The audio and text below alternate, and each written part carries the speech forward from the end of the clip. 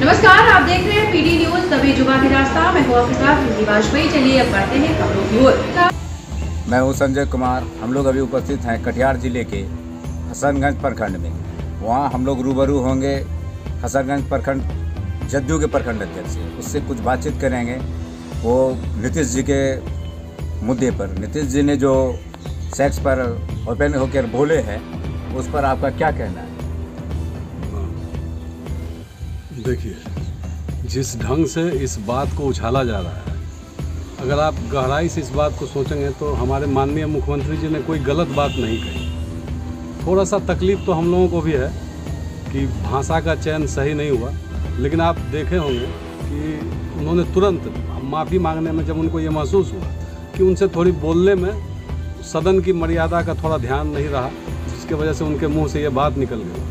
लेकिन गहराई से जब उस बात का आप अध्ययन करेंगे तो आपको ये समझ में आएगा कि उन्होंने कोई गलत बात नहीं की। वो इस बात से बहुत ज़्यादा प्रसन्न थे कि वो जो चाहते थे महिलाओं को साक्षर करने के वजह से जनसंख्या में जो नियंत्रण हुआ है तो वो भावावेश में आके मतलब खुशी का वो क्षण था जिसके वजह से उनके मुँह से ये निकल गया। अब सवाल है कि अब विपक्षी का काम तो है कि वो किसी भी मुद्दे को कैसे उनके खिलाफ इस्तेमाल किया जाए। एक बात आप जान लीजिए, हम लोग आम खाते हैं।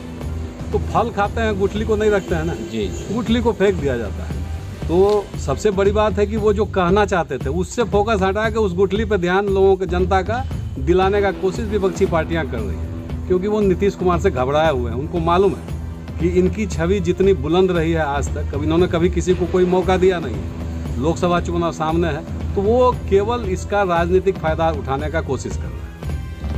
यहाँ बता रहे हैं कि ये जो भावावेश में कहा गया है, उनका कहने का नीति कुछ और था, लेकिन यहाँ आदमी कुछ और समझ रहे हैं। वह जनसंख्या नियंत्रण के बारे में जो बता रहे हैं कि महिलाओं को जानकारी होगी तो वह अपने आप में इसको रोकेंगे।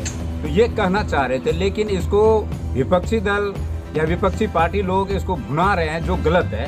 इस पर आपका क्या कहना है? देखिए मुख्यमंत्री जी का सबसे पहला बिहार में जो काम करने का तरीका है, वो चाह रहे थे कि महिलाओं को साक्षर किया जाए। तो ये सब कुछ महिलाओं के शिक्षा से जुड़ा हुआ मामला है और महिला के शिक्षित होने से उसका क्या प्रभाव हमारे समाज में पड़ता है, उनके कहने का मूलतः उद्देश्य यही था। जातीय जनगणना, गणना जो अभी हुई, उसमें जो सार निकल के आया, उससे ये समझ में आता है कि जिस घर की महिलाएँ पढ़ी लिखी हैं, उनके यहाँ प्रजनन दर बाकी परिवारों के बनस्पत कम है।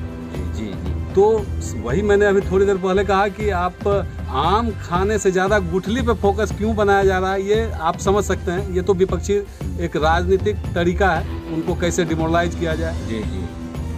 और नीतीश कुमार जी ने जो काम किया है बिहार में आप उनके अच्छी बातों को कोई नहीं कह रहा। जैसे युवा के लिए महिला के लिए अल्पसंख्यकों के लिए उद्योग का मौका देना खेती के लिए हर घर बिजली पहुँच हर खेत में बिजली पहुंचाना या जो लड़कियों को मैट्रिक में स्कॉलरशिप दिया जाता है फ़र्स्ट फ़र्स्ट डिवीज़न आने के बाद इंटर में जो दिया जाता है उनके शिक्षा के लिए आगे और क्या होना चाहिए उनका जो विजन है उस पर कोई बात नहीं करते। कोई आप एक विपक्षी पार्टी बताइए जो उनके विजन के विषय में बोलता हो कि नहीं आप हिंदुस्तान में जितने भी राज्य हैं किसी भी मुख्यमंत्री से उन, उनका तुलना करके आप देख सकते हैं। वो तो हर्षा तिरेक में उनके मुँह से ये बात बात कहीं से कोई गलत नहीं है। उन्होंने कोई ऐसी बात गलत नहीं कही है जिसका गलत मत हाँ ये मैं मानता हूँ कि वो जिस भाषा का चयन हुआ वो थोड़ा अच्छा नहीं लगता तो इसके।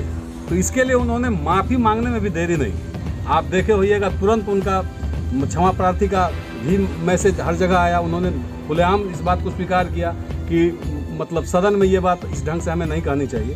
तो हमारी ज़रूरत जो है जब उसको वो पूरा कर रहे हैं और ये अभी लोकसभा का चुनाव ऐसा बहुत कुछ होगा उनकी छवि को धूमिल करने का प्रयास किया जा रहा है क्योंकि घबराहट तो भारतीय जनता पार्टी की जो केंद्र में सरकार है उनको घबराहट अगर किसी से है तो, तो नीतीश कुमार से है ना? जी जी। और जनता इस बात को समझ रही है तो उनके चरित्र को थोड़ा सा उछाला जा रहा है ये राजनीतिक विषय से कुछ फ़र्क पड़ने वाला नहीं जनता के लिए क्या मैसेज जनता के लिए क्या मैसेज है?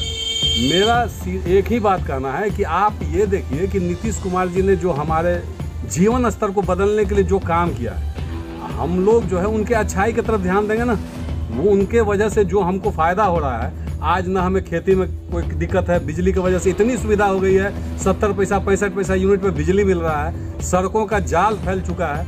महिलाओं के लिए हर जगह, आज आप देखिए कि हमारा समाज महिलाओं को जो आरक्षण दिया गया, या आप देख लीजिए जो पंचायत चुनाव होता है, उसमें जो जो अच्छी बातें हैं, वो लोग समझें, ये धर्म के नाम पे राजनीति करना उससे आम आप हमको एक बात बताइए कि जो भारतीय राजनीति के केंद्र बिंदु में आज भारतीय जनता पार्टी की सरकार है, उनसे आम आदमी को क्या फ़ायदा होगा? किसी भी चीज़, महँगाई को लेकर आप देख लीजिए, आप कोई भी सामान उठा लीजिए उस अच्छा जब आप पैसे खर्च करते हैं तो आपकी बाकी चीज़ें प्रभावित होती है, चाहे आपके घर का व्यवस्था हो, पढ़ाई लिखाई, खान पान, सब उससे प्रभावित होता है। तो उसको बदलने के लिए तो कुछ नहीं किया जा रहा है। नहीं। धर्म का एक आडंबर फैलाया जा रहा है। आप देखे होइएगा, कोई भी त्योहार होता है, इस ढंग से पैसा खर्च किया जाता है।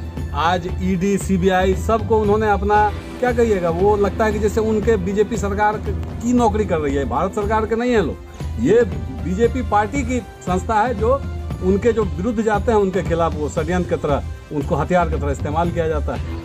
तो मैं लोगों को यही कहना चाहूँगा कि भारतीय जनता पार्टी के जुमलेबाजी में नहीं फंसना है। आप जो नीतीश कुमार जी ने अच्छा काम किया ऐसे ही सत्रह साल कोई मुख्यमंत्री नहीं रह सकता है बिहार में एकदम एकदम सही बोल रहे हैं। तो कुछ तो वजह है कुछ तो उन्होंने दिया है। और आप देखिए कि आपका जीवन स्तर सत्रह साल बीस साल पहले क्या था। अभी आपके जीवन में क्या बदलाव आया आपके घर की महिलाएँ अब घर से निकल के दो पैसे कमाती हैं।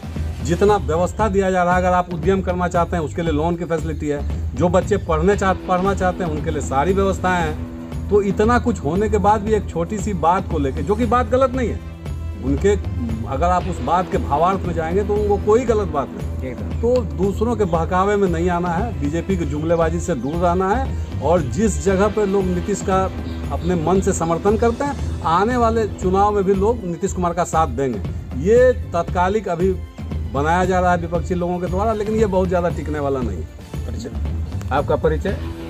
जदयू प्रखंड अध्यक्ष राजीव रंजन विश्वास हसनगंज जदयू प्रखंड अध्यक्ष।